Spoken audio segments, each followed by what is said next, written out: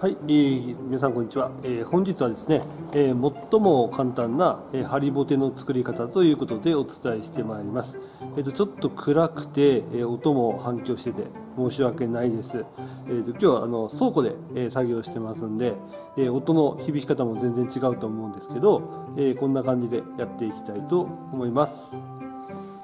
はい、えー、まず最初に厚さね、えーと、と15ミリ 15mm のコンパネを用意してください。えー、これが 15mm 厚のコンパネですね、えー、標準的に売ってるのは 12mm が多いんですけど、えー、必ず 15mm が、え推奨になります、えー、18mm っていうのもあるんですけど 18mm あるなら18でもいいんですけどまあ18までここ、えーと、ハリボテだと必要ないかなっていう感じですね、えまず 15mm のコンパネを用意してください。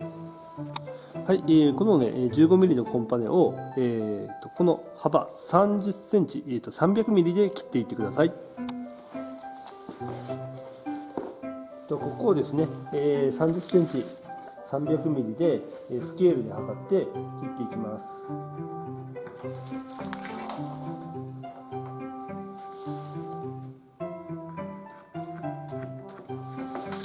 はい、え、ここで切るときに必要になってくるのが、あの、ここを切るあの専用の、え、丸のこの定規っていうのを作ってください。えっ、とまた別に説明したいと思います。丸のこ定規はですね。はい。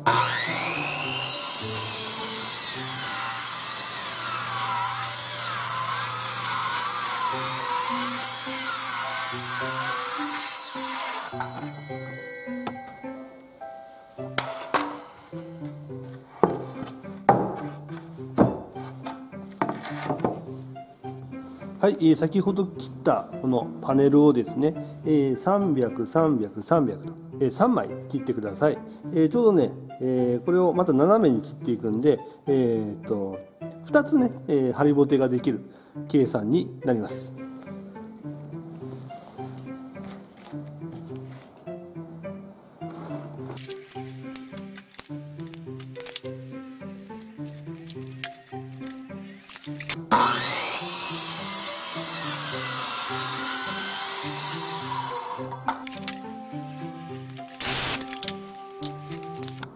えー、次はですね、ここに斜めにこう3つカットを入れていきます。えー、このパネルが、えー、3枚こう斜めに斜めにカットされるようなイメージです。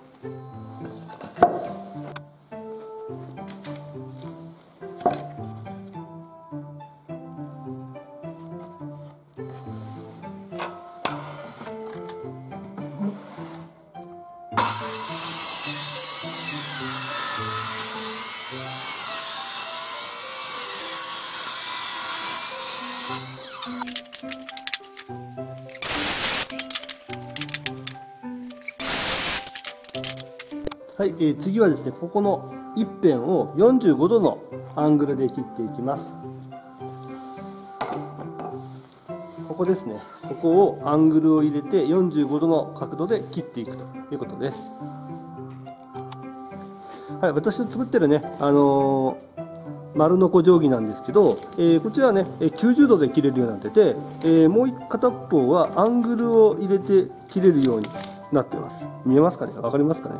えー、こっちはアングルこっちは垂直という具合になってます。で今からアングルの方で切っていきます。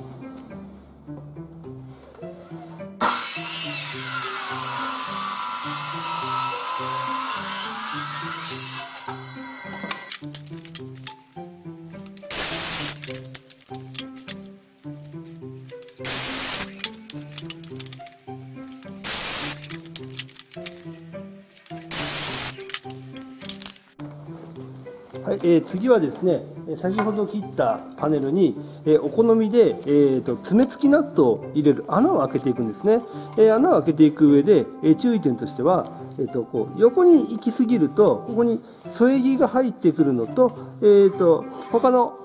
パネルと重なりもあるんですね、えなので端っこには行き過ぎない、えあとはあの下の方実はね、えあんまり使えないんですよね、えなので、えーとまあ、あんまりこう端っこには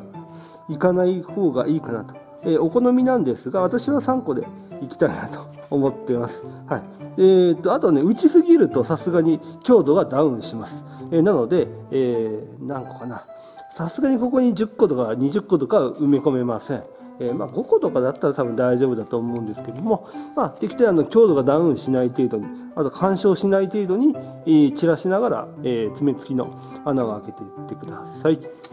はい、穴開けはですねあの今日はインパクトドライバー使いますけどあの 12mm のビットを使って開けていきます。で、えー、コツとしてはね下にこう当て木がある方があの下がこうボロボロになりづらい感じがします。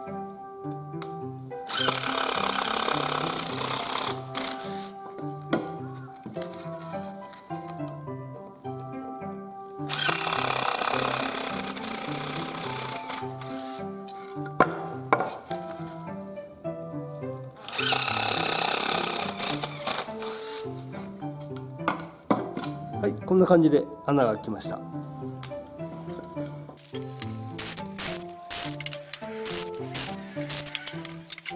い、えー、今度はですね裏側からハンマーで見えますか？爪付きナットを入れていってください、えー、こんな感じですね。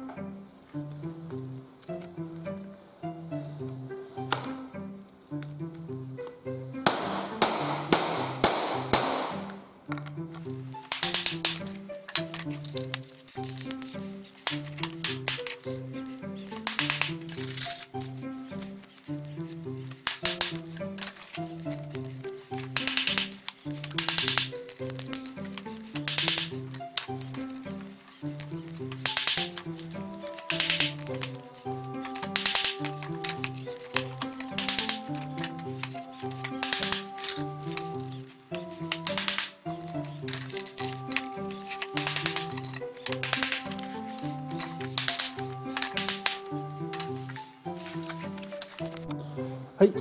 ー、今ですね、この裏に爪付きナットが打てました。えー、で、えーと、今からです、ね、補強剤のね、えーと、四隅にこう四隅だ、隅にあの補強剤を入れていくんですね。えー、そこで必要になってくるのはこう二重割りと呼ばれるあの杉材を私は使います。で、この材に関しては別に杉材でなくてもいいし、えーとまあ、ある程度このこれくらいの、えー、と2センチ ×3 センチぐらいの太さがあれば何でもいいと思います。はい、えこれを入れていきます。で、えこの長さはね、この長さは大体30センチ、えー、と大体ね、20何センチか27、8センチあれば大体足るんですよね。えで、こっちの端っこはね、切るんで、えー、大体30センチあれば結構です。はい、で、えー、まずね、あの今から補強を入れていくんですけど、えー、とこのね、辺を上にしまして、えー、とここがカットした面ですよね、え斜めにカットされてます。これを、えー、と上にした状態で、えー、と私の場合は左上の方に、えー、この補強材入れるんですが、でここにあの重なりができるので、えー、15mm のところに印をつけてください。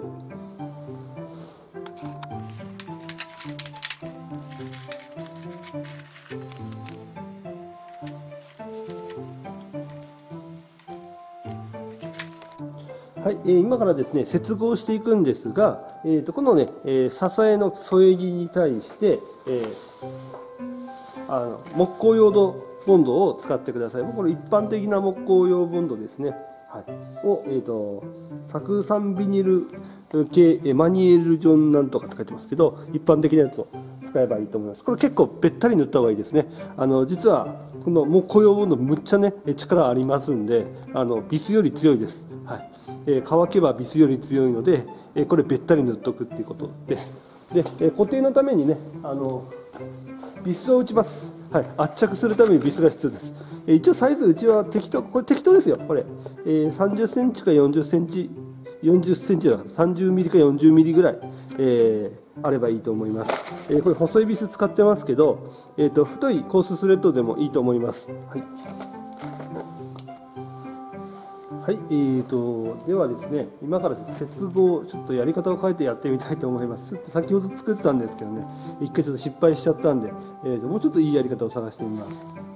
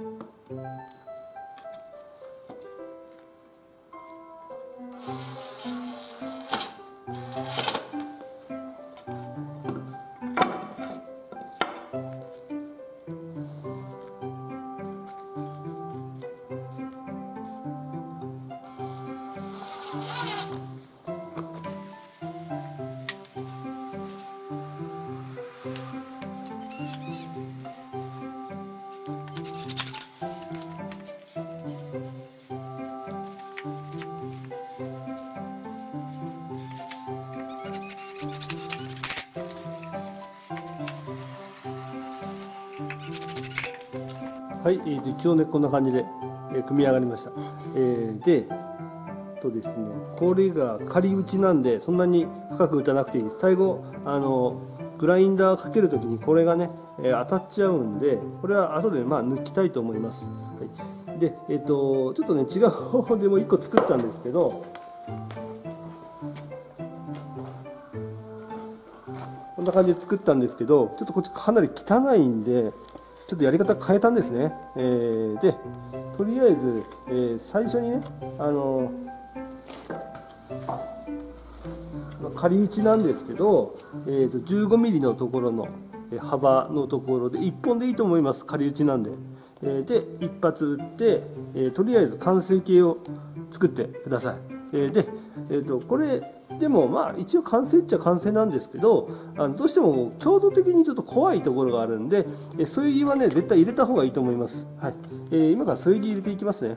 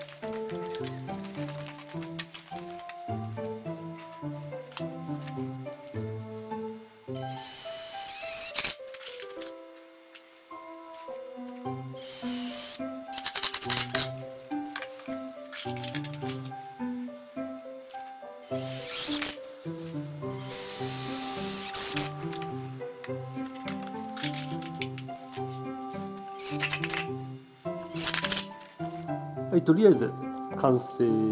であとこれを、えーと、支えを切っていきます、はい。まあ、手のこでも今が電動のこぎり持ってきてるんですけど、えーと、レシプロソーか、えー、持ってくるんですけど、まあ、あの手のこで切っていただければいいと思います。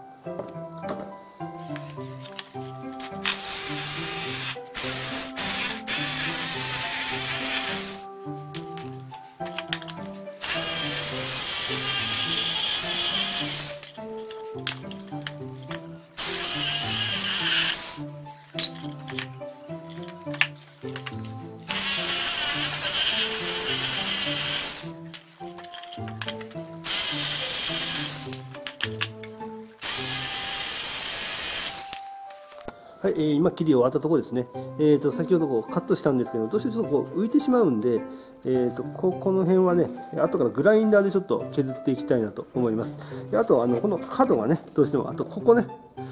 こがどうしてもこう陥没しちゃうんでここも、まあ、あのなるべくね、えー、滑らかにしていこうと思います。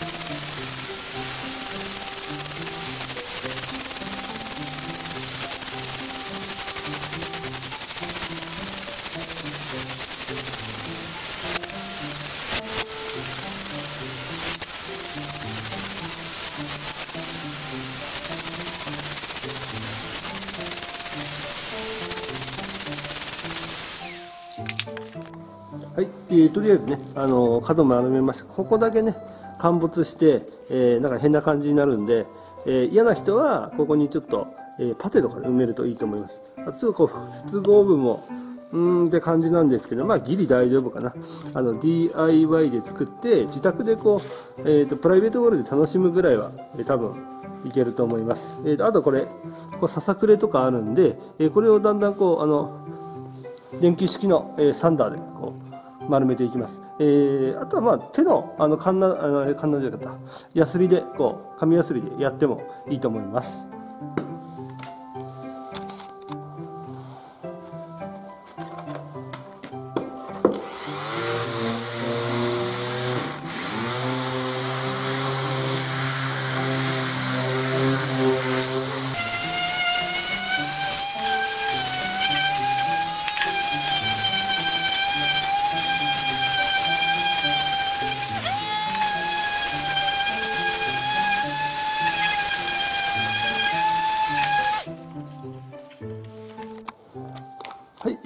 一応一番簡単なね、えー、クライミングのハリボテ、えー、作り方を、えー、やってみました、えー、こんな感じで仕上がりました、えー、でまああのなんかこんな感じですね、えー、支柱も、えー、ちゃんと隅に入ってて、えー、かなり頑丈にはできてます、はい。えー、でまああのここのね部分は、えーと、ちょっとね内側に入った方がいいです、はい、で多分これもしっかりあの接合面は合ってるんじゃないかなとは思うんですけど、えー、あと接合面ですね、えー、の考え方なんですけどあのボールがねえーとまあこんな感じで、まあ、壁ここは壁ですね。壁があってハリボテのそのえっ、ー、とエッジのこの端っこですね。この端っこの線がえっ、ー、と今ですねこんな感じで当たってるんです。でここちょっと空いてるんですけど、ね、あのこれはね多分ねまあえっ、ー、とよくはないけどまあ悪くもない三角ぐらいですね。本当はこうジャストでこう設置するのがこの隙間がほとんどなく設置するのがよくて、えー、これがまあ二重丸なんですけどえーとまあ、一番良くないのははね空いてしまうっていう壁に対してここに隙ができてしまうっていうのが良くなくて、まあ、一応こうならないようにここで今三角の状態でとどめてあります、はい、実際ねもっとねこだわればもっと綺麗に作れるんですけどえ今回はあの簡単にするっていうのを、えー、重点に置いたんで、えー、まあ、これぐらいの仕上げになってます、はい。えー、大体ねま私が作って、えっと、2個作って1時間かかったかかからないかぐらいで作れました。えもうちょっと数作ればね、えー、もっと、あの1時間で、えー、6個とか8個とかね、え作ることも可能です、はい、であとまあ、あの必要な方はあの塗装ですね。塗装はした方がいいと思います、はい、えそんな形で、えお願いします。